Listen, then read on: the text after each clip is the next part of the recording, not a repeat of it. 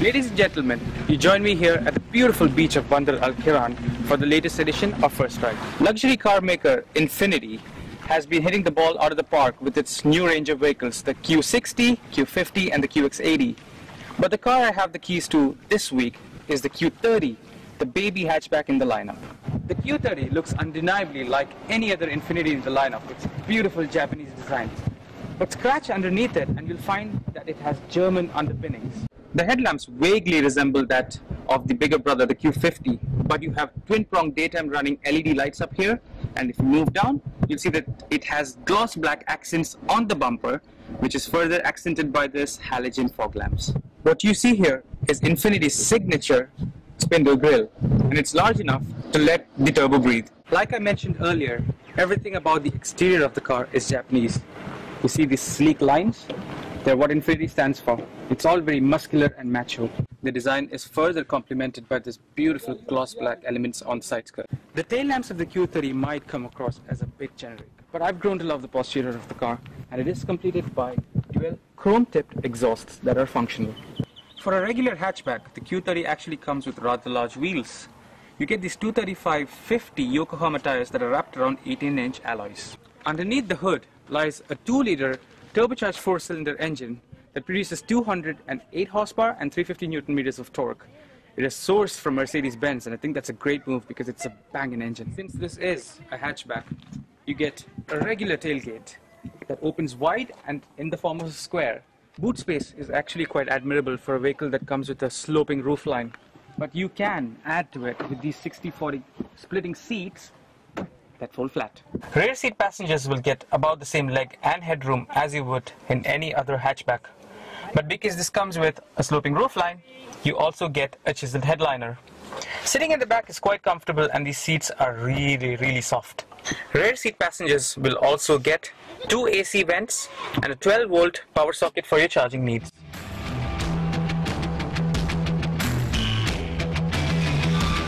German roots of the car begin to take shape once you step inside. Everything from the steering to the instrument cluster, the dashboard, and even the key is derived from the Mercedes-Benz.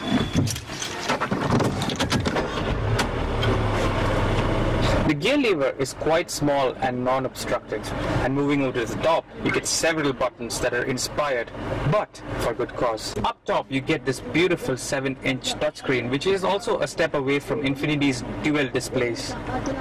The maps is straight up from a Nissan, and it is quite easy to use and slick.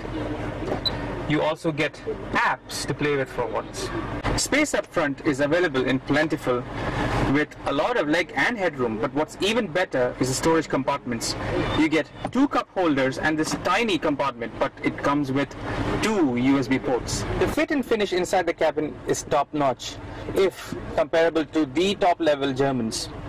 This, for instance, is leatherette, but it is stitched and it adds to the persona of the car. Now let's move on to the most interesting part of the car, the drive.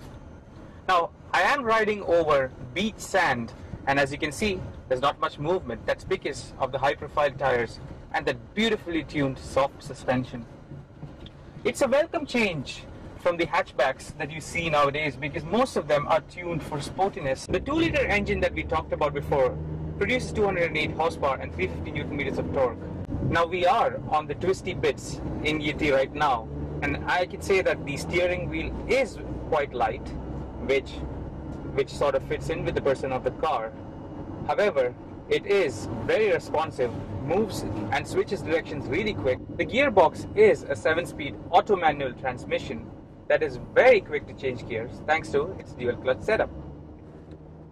In these roads that I'm driving on right now, I'm using the paddle shifters. I have to say, it really is lightning quick. 0 to 100 is achieved in about 7.5 seconds.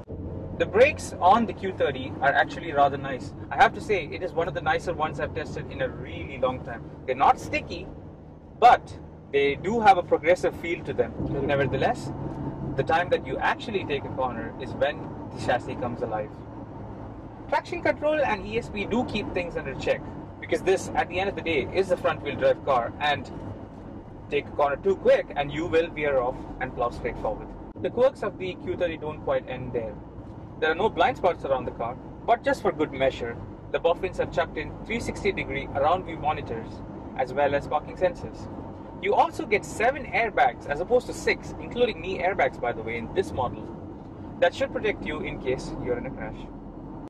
The eagerness of the Q30 in the corners is probably what makes this car all the more fun to drive. There's quite a lot to like about the Q30, and it doesn't take much time to fall in love with it. I've driven this car about three or four times before, and I have to say, after dropping it back, I will miss it. I'm not sure what's more beautiful, this beach or the car. Infiniti's first attempt at making a premium hatchback may be a collaborative effort, but I'll tell you what, it's won a lot of hearts and it's won mine.